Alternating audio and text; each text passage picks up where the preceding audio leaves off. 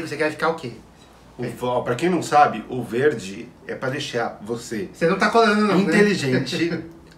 ah, você pega o, o, o vermelho ali. Não, eu quero ficar inteligente. Mas pega o vermelho. E é o vermelho. É pra deixar legal. Isso é você que precisa. O rosa é pra deixar bonitinho. O único que eu lembro nos, quando eu jogo é o Que é o rosa. fofo, é o fofo. É o fofo. O azul é o que é de beleza. Esse eu não preciso. Esse eu não preciso. E o, o laranja ali, o amarelo, é pra deixar resistente. Ah, eu preciso desse aí também, pra ficar mais forte. Então me dá o.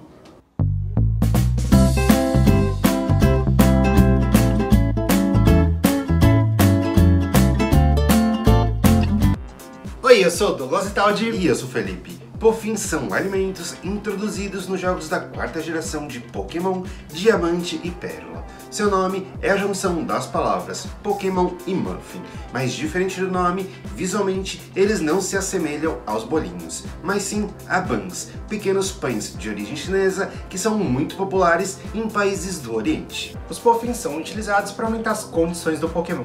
Assim, o monstrinho fica mais legal, mais belo, mais fofo, mais resistente ou mais inteligente. Cada Pokémon prefere um sabor diferente, dependendo da sua natureza. E o sabor do Pofim pode ser percebido pela sua cor.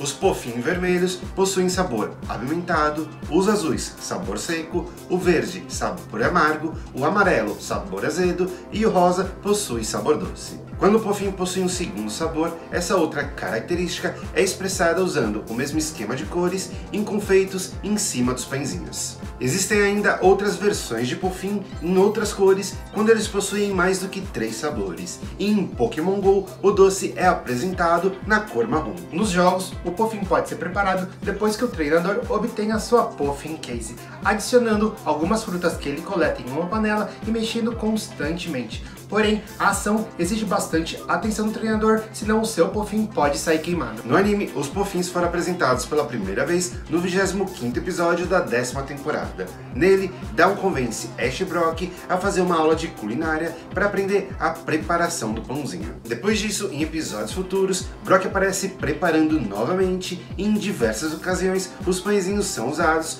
para alimentar diferentes monstrinhos. No vídeo de hoje, as nossas versões dos Puffins de Pokémon. A gente começa pelo recheio dos pofins. Para isso, em uma travessa, a gente bate três gemas com meia xícara de açúcar.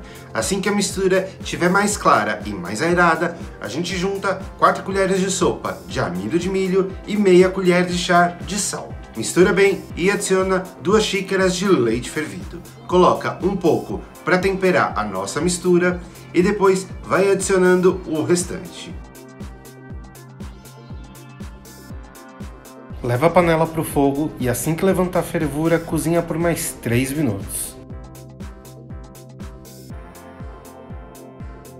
Divide o creme em 5 partes iguais e para saborizar cada uma delas, a gente vai seguir o esquema de cores do pofim. Para o verde, que é o amargo, a gente coloca uma colher de sopa de matcha em pó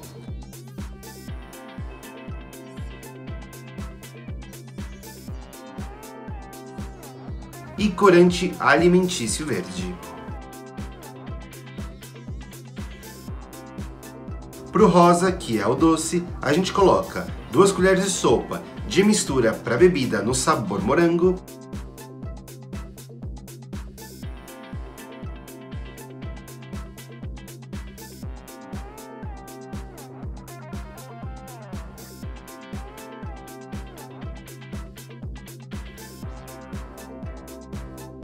Pro azul, que é o seco, a gente coloca um quarto de xícara de chá de geleia de blueberry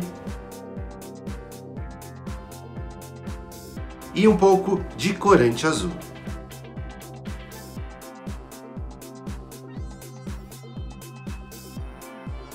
Pro vermelho, que é o apimentado, a gente coloca meia colher de chá de canela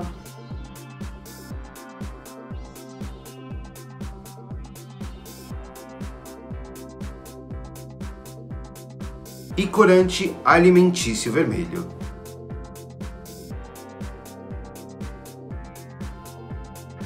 E pro amarelo, que é o azedo, a gente coloca uma colher de sopa de suco concentrado, sabor maracujá,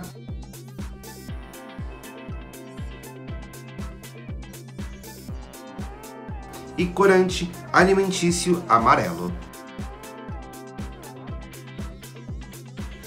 Cada recheio a gente transfere para um pedaço de plástico filme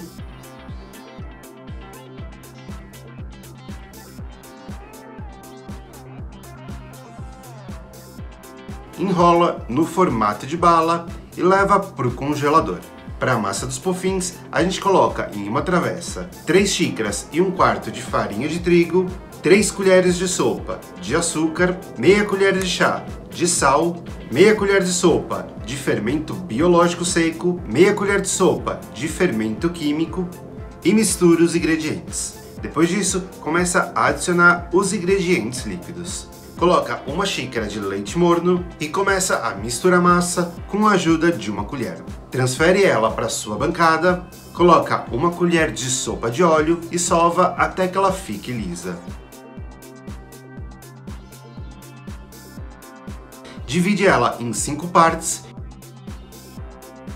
e cada uma delas a gente colore usando um pouco de corante alimentício em gel.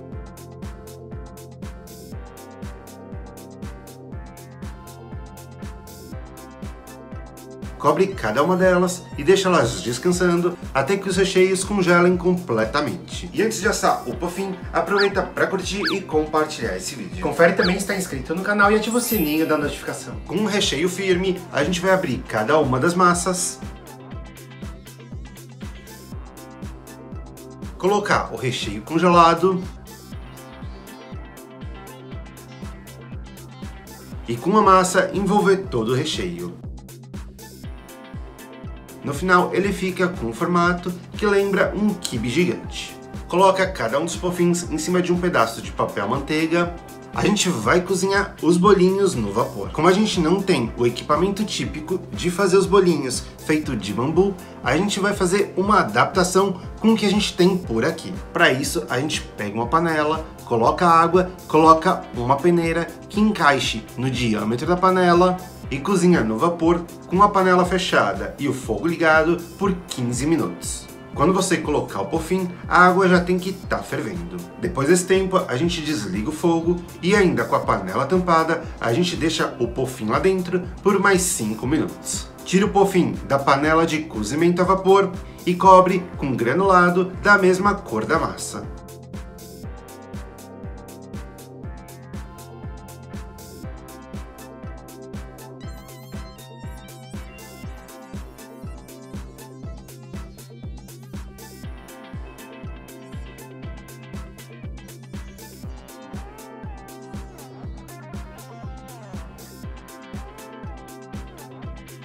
E essas foram as nossas versões para os pofinhos de Pokémon. Se você gostou do vídeo, dá o like embaixo, compartilha nas redes sociais e não esqueça de se inscrever aqui no canal. Para outras receitas inspiradas em Pokémon, aqui em cima tem um card. E se quiser ver alguma outra receita aqui por aqui, deixa aqui embaixo nos comentários. Se fizer esse pofinho, tira uma foto, posta e marca a gente pra gente ver. A gente se vê na próxima. Tchau!